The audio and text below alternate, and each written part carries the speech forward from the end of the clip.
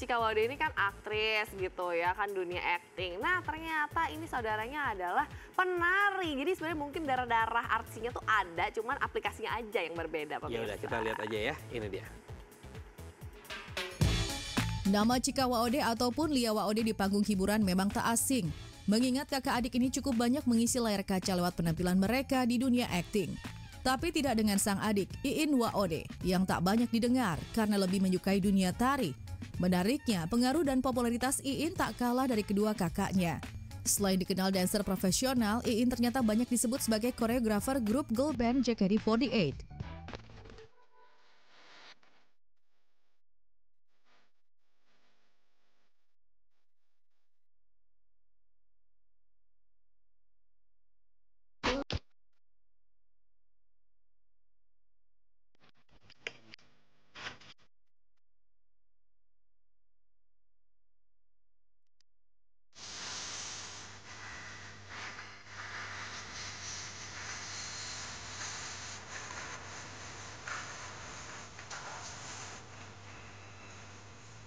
Kenapa sih akhirnya memilih untuk Eh jangan salah, dia dulu juga acting. Aku dulu cuman acting. cuman mungkin dia emang jalurnya nggak mau ke arah sana.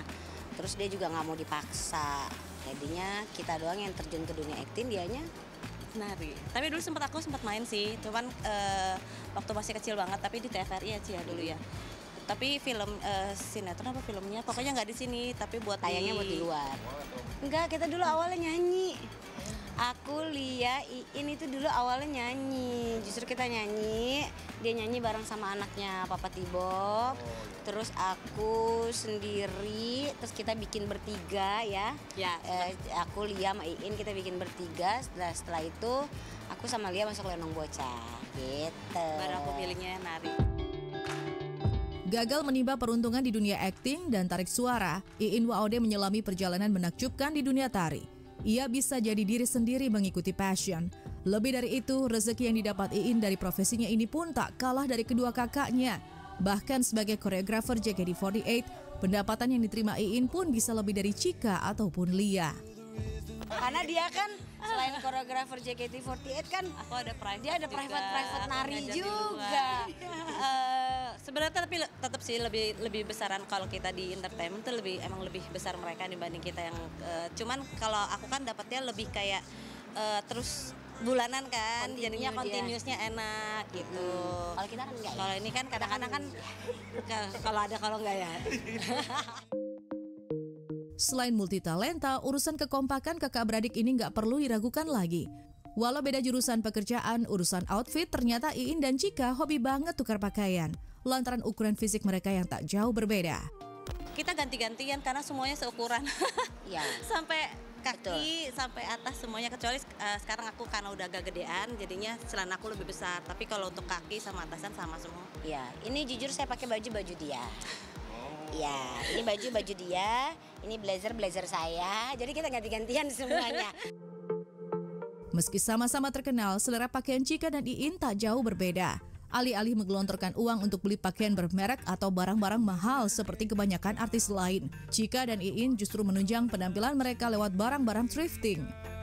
Kalau kita sih pengejar thrifting ya. kita suka karena tuh suka banyak model-model yang tak terduga. terduga Waktu itu kita lagi liburan keluarga ya, aku bisa dapat 10 piece dan itu keren-keren semua gitu. dan aku nggak pernah malu untuk menyebutkan aku beli di mana aku ini segala macam. Karena aku bukan pengejar eh, merek-merek yang ternama juga sih ya. Antara murah atau mahal itu pakaian tergantung bagaimana cara Tergantung yang kita- pakai. iya pakai. ini murah loh. Ini murah loh. Ini dikasih loh. Ya ini juga murah loh gitu. tergantung aja gimana cara kita uh, mix mix and match aja Ya, benar banget. Murah atau mahal itu hanya sudut pandang. Jika pandai mix and match, otomatis apa pun penampilannya pasti terlihat menarik. Nah, jika tak punya budget khusus untuk membeli outfit mahal, apa benar Cika dan Iin memilih menabung atau membangun bisnis untuk masa depan?